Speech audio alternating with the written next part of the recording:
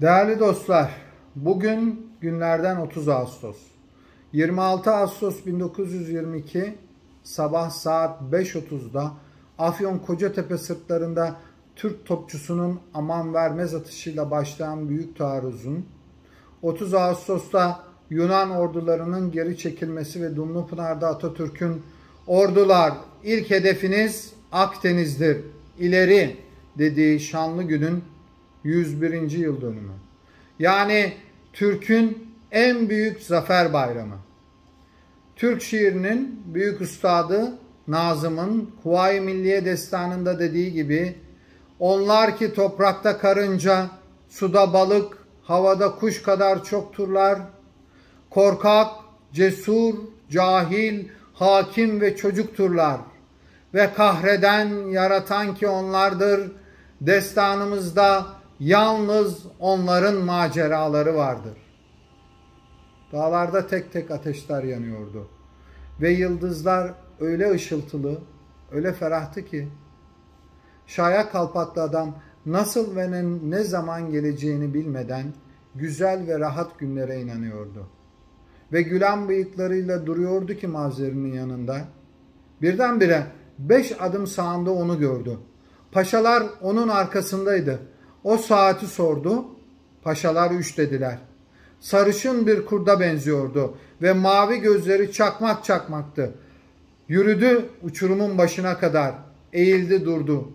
Bıraksalar ince uzun bacakları üstünde yaylanarak ve karanlıkta akan bir yıldız gibi kayarak koca tepeden Afyon Ovası'na atlayacaktı. Yüzbaşı sordu. Saat kaç? Beş. Yarım saat sonra demek 98.956 tüfek ve şoför Ahmet'in 3 numaralı kamyonetinden 7.5'luk Schneider'lere 15'lik obüslere kadar bütün aletleriyle ve vatan uğrunda yani toprak ve hürriyet için ölebilmek kabiliyetleriyle birinci ve ikinci ordular baskına hazırdılar. Alacakaranlıkta bir çınar dibinde Beygirin yanında duran sarkık siyah bıyıklı süvari kısa çizmeleriyle atladı atına. Nurettin Eşfak baktı saatine 5.30 ve başladı topçu atışıyla ve Feyzi ile birlikte büyük taarruz. Türk şiirinin büyük ustadı Nazım ruhun şad olsun. Milli mücadeleye destek olmak için canı ve kanı pahasına savaşan Karakol Cemiyeti'nden Yeni Bahçeli Şükrü'ye, Hamza grubundan Yüzbaşı Seyfettin'e, Memmim grubundan Topkapılı Mehmet Cambaz'a selam olsun. İmalatı Harbiye'den Eyüp Bey'e, Berzenci grubundan Ahmet Berzenci'ye, Ferhat grubundan Mustafa İzzet'e selam olsun.